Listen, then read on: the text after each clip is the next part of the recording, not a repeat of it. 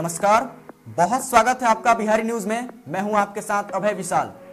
केंद्र सरकार द्वारा गुरुवार को सोशल मीडिया प्लेटफॉर्म और ओवर द टॉप, यानी कि ओटीटी प्लेयर का दुरुपयोग रोकने के लिए दिशा निर्देश जारी कर दिया गया है। इसके तहत सरकार द्वारा चिन्हित की गई किसी भी सामग्री को 24 घंटे के भीतर हटाना होगा। साथ ही देश में त्रिस्तरीय शिकायत निवारण तंत्र बनाना होगा। ट्विटर और व्हाट्सएप जैसी प्लेटफॉर्मों को देश की संप्रभुता और सुरक्षा के खिलाफ राष्ट्र विरोधी संदेशों के मूल स्रोतों की पहचान करनी होगी। अपराध सिद्ध होने पर पाँच वर्ष तक की सजा हो सकती है।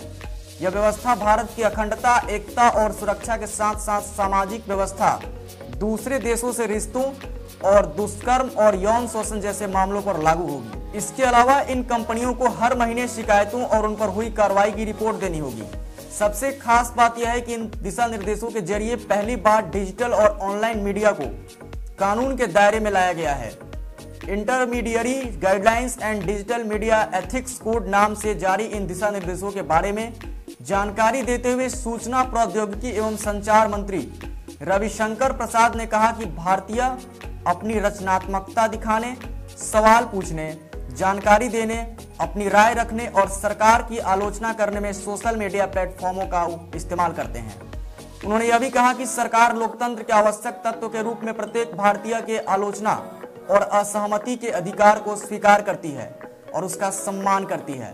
भारत सबसे बड़ा खुला इंटरनेट समाज है और सरकार भारत में काम करने, व्यापार करने और मुनाफा कमाने के लिए सोशल मीडिया कंपनियों का स्वागत करती है। हालाँकि उन्हें भारत के संविधान और कानूनों के प्रति जवाबदेह होना पड़ेगा। वहीं केंद्रीय मंत्री प्रकाश जावड़ेकर ने कहा कि ओटीटी प्लेटफॉर्म पर परोसी जा रही सामग्री को लेकर लगातार शिकायतें मिल रही थी। संसद के दोनों सदनों में लगातार इससे संबंधित मामले उठ रहे हैं, इसलिए सरकार को आगे आकर इनके लिए नियम बनाने पड़े हैं। आपको बता दें कि सरकार द्वारा ये दिशा निर्देश तब जारी किए गए हैं जब हाल ही में किसान आंदोलन के दौरान ट्विटर पर ऐसे मैसेजों की बाढ़ आ गई थी।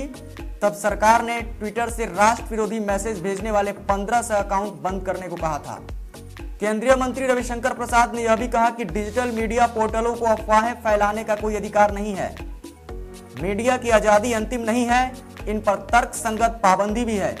मीडिया, डिजिटल मीडिया और ओटीटी पर सामग्री सूचना एवं प्रसारण मंत्रालय द्वारा प्रशासित की जाएगी। वहीं ओटीटी प्लेटफॉर्म को ऐसी व्यवस्था तैयार करनी होगी, जिससे यह पता लगाया जा सके कि यूज़र की उम्र वयस्क की सामग्री का कंटेंट देखने लायक है या नहीं?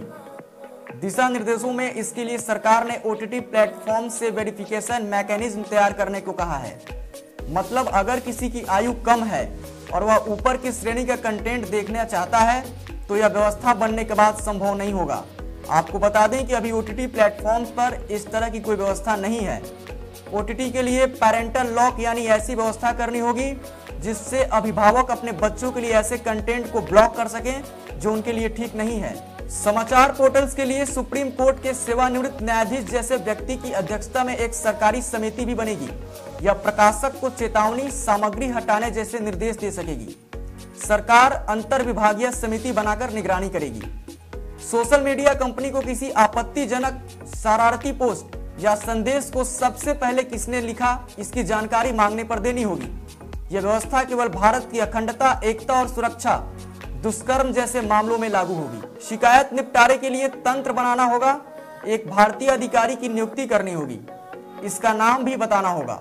अधिकारी को 24 घंटे के भीतर शिकायत दर्ज करनी होगी और इसका निपटारा 15 दिनों के अंदर करना होगा। तो अभी के लिए बस इतना ही।